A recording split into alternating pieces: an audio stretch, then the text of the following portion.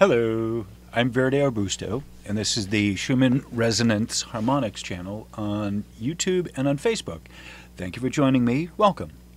Um, if you're new here, welcome. Um, make sure to hit the subscribe button and hit the little bell next to it uh, to select the all notifications. Um, thank you for being here.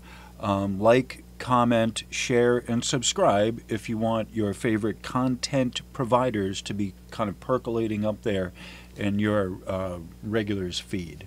Okay, so um, it's uh, what's today? Sunday. It's like uh, 10 o'clock at night. It's overall is a nice day, but it's very cold out. Um, it's wintry here in New England, but it's uh, it was sunny. It was a sunny day. Got a chance to get some work done today. Okay. Um, so thank you all for the comments. Thank you for the love, the support. Thank you for the um, the subscribers on Patreon. Thank you for those who um, have subscribed have subscribed and have um, provided support through PayPal as well. Thank you very much. All that all of the money I get that comes in goes to the studio to make the sound better. Um, and thank you for my subscribers who have provided uh, the supporters who've uh, helped me out with the um, the funds for the equipment. Uh, that was a mouthful. Okay. So, um, I just want to get into the literature really quick. Um, this is going to be a fairly short, uh, brief introduction. There's going to be a couple parts. Um, the first is going to be a simple, fairly simple, relatively short introduction of the basic material. And then the next one after that we'll go into a little bit more detail of the same material, and we will go into more specifics and more detail of this. Okay. So what I have on the screen next to me or behind me is the basic elements to, or some, the, the majority of the basic elements uh, in a pictorial form of the um, Schumann resonance antenna detectors. Okay, so essentially what we have here is the signal conditioning path. So you see it's the induction coil, which is this over here. Okay, then there's a preamplifier. Then there's a filtering stage. Then there's a variable gain amplifier, and you see there's four filters here that they show you, and then the DAQ, which is the um, uh, that's where the data is um, acquired. That's where the it's processed, if I remember correctly.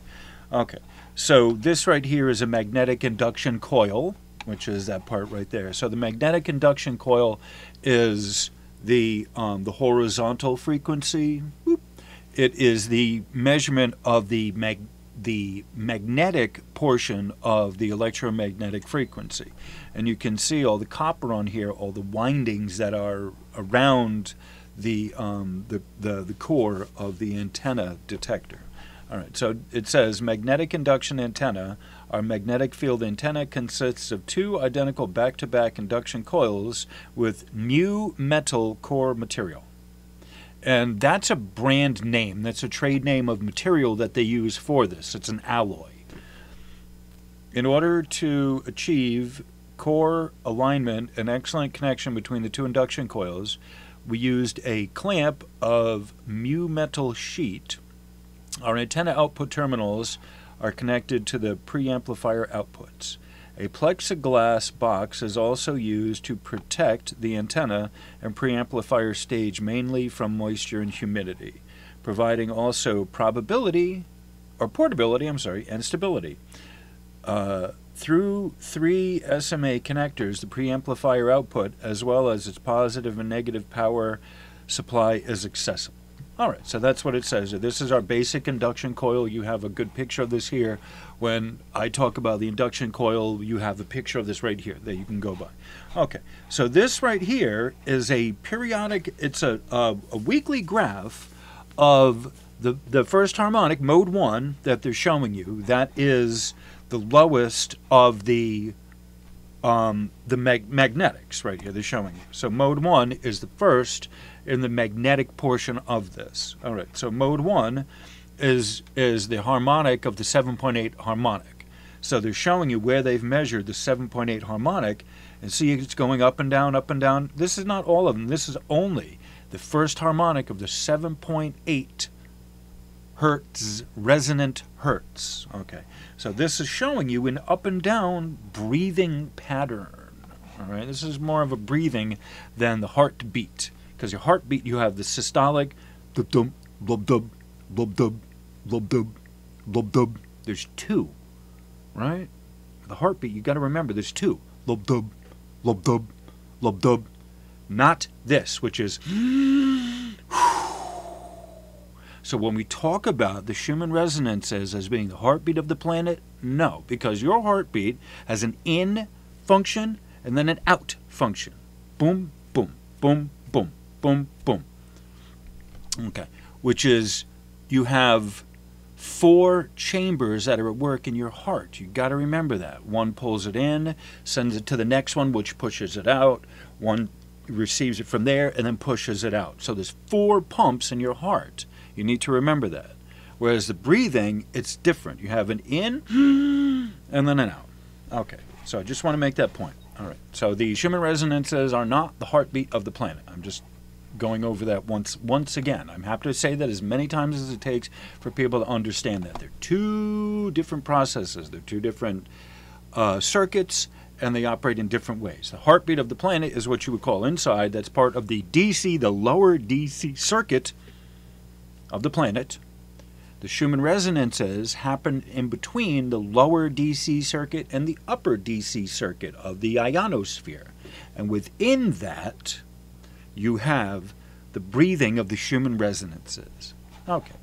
So the next thing here I'm going to show you is this is a schematic diagram of the um, the electronics of the antenna itself. Okay.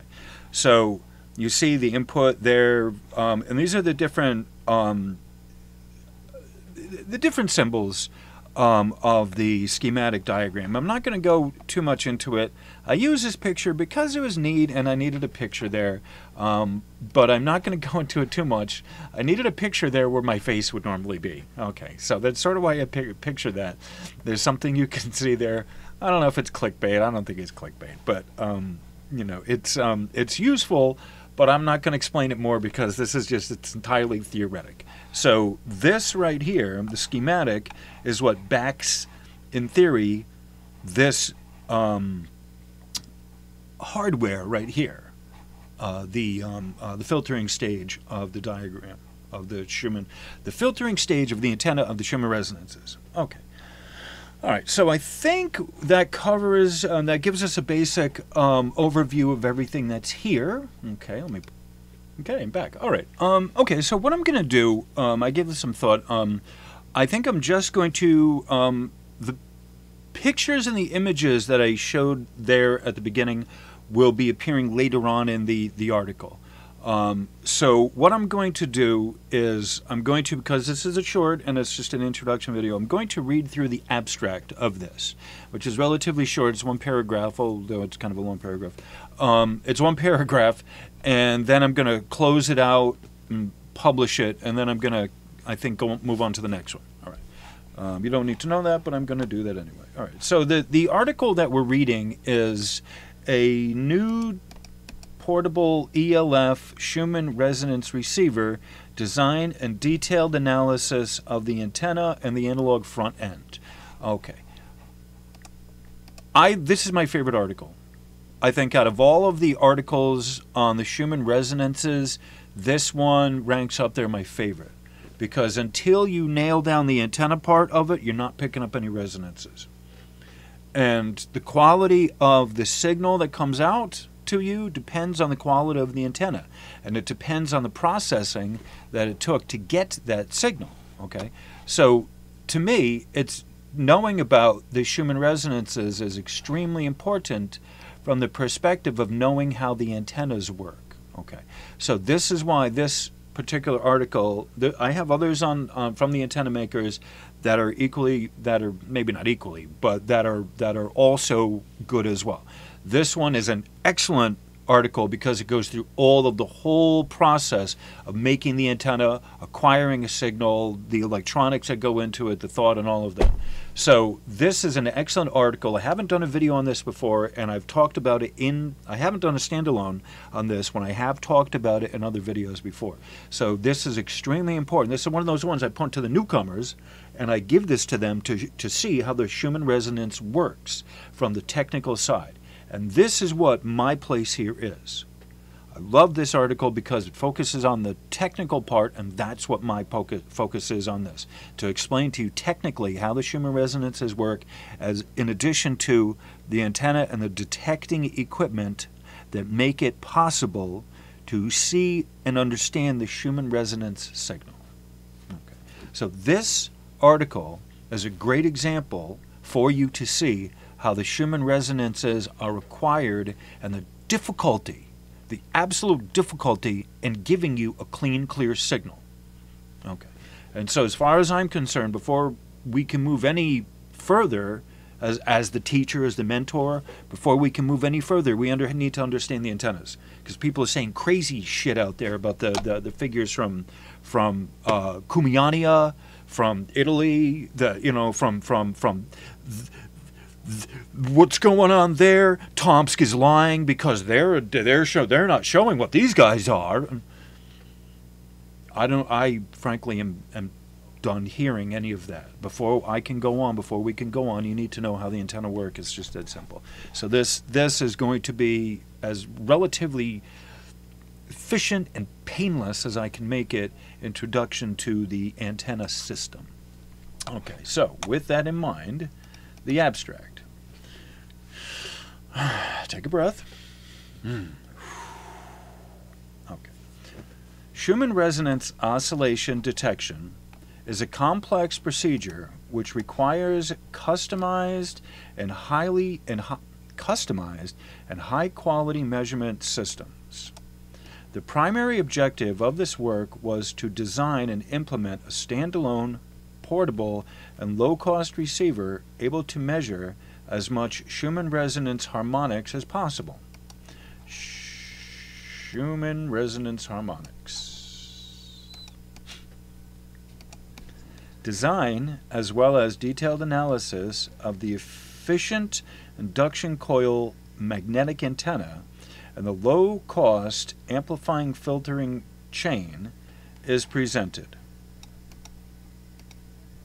The detection system includes two coils back to back, resulting in a total coil length of 60 kilometers.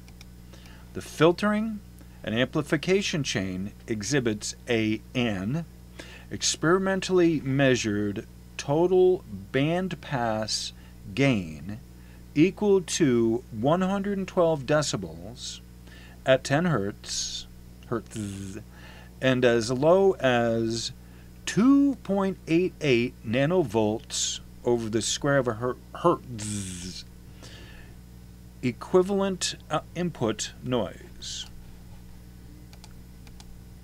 In order to validate the new portable ELF Schumann resonance detection and monitoring system, we took measurements at various spots relatively free from man made electromagnetic pollution.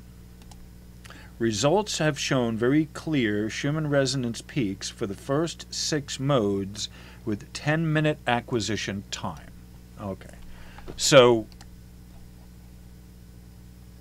10 minute ac- the where where it's talking about here the 10 minute acquisition time really quick this is your scan right on Tomsk where you'll see those scan marks they're just stripes like that that is the acquisition data stripes they're artifacts in the system that are oh I don't even know how to explain it. But that they're they're they're, they're data oversampling stripes, if you will. I'm not sure if you know what that means. And there's a crossover between the two. It's not something's not lining up properly. All right, but that's what what this when we talk about those data stripe lines, that's what that is. Is it's the acquisition time. Okay, so. Um, I'm not going to go more into that. That's you know that's not exactly part of what part of this discussion is right now because I don't have the literature. Number one and number two, I'm just talking about this abstract here. I want to give you a, just a brief kind of introduction to what the acquisition time, the 10 minute acquisition time is. Although I think for Tomsk it may be 20, 20 minutes, but I'm not sure. Essentially, what happens is it it processes 10 minutes worth of a signal and then it sends it. Processes 10 minutes and then it sends it. So there is an overlap from when it has done the sample and the buffer is full and it's waiting to send it out. Okay. So somewhere in between the, the done, let's go, is a, a, a signal that's sent out. Full, let's go. Full, let's go. Full, let's go. So that this is what I understand. This is just what I understand. This could be not technically correct, but this is how how my guides have have explained what is happening there. That in the overlap there between I'm full, let's go, and sending it, there's a like a tick, a waiting, um, and so something is not activating properly. All right, so that's basically what they had given me is the Tomsk lines. All right. Okay, so this is um, legitimately a quick video. Um, I have introduced the topic. Um, I just want to make a short video. We're going to get this out, the antenna making um, video, and so the next one I will be going into more detail about the, the, the video itself um, and the details, and we'll look at the pictures. All right, so for right now, that this is um, a good place to stop. Thank you all for coming here. I appreciate your being here. thank you all for your love, your support, and your comments. Um, and uh, like, share, comment, and subscribe. Thank you very much. Um, and everyone have a great and wonderful day. And I will talk to you soon, I think. Bye. Namaste.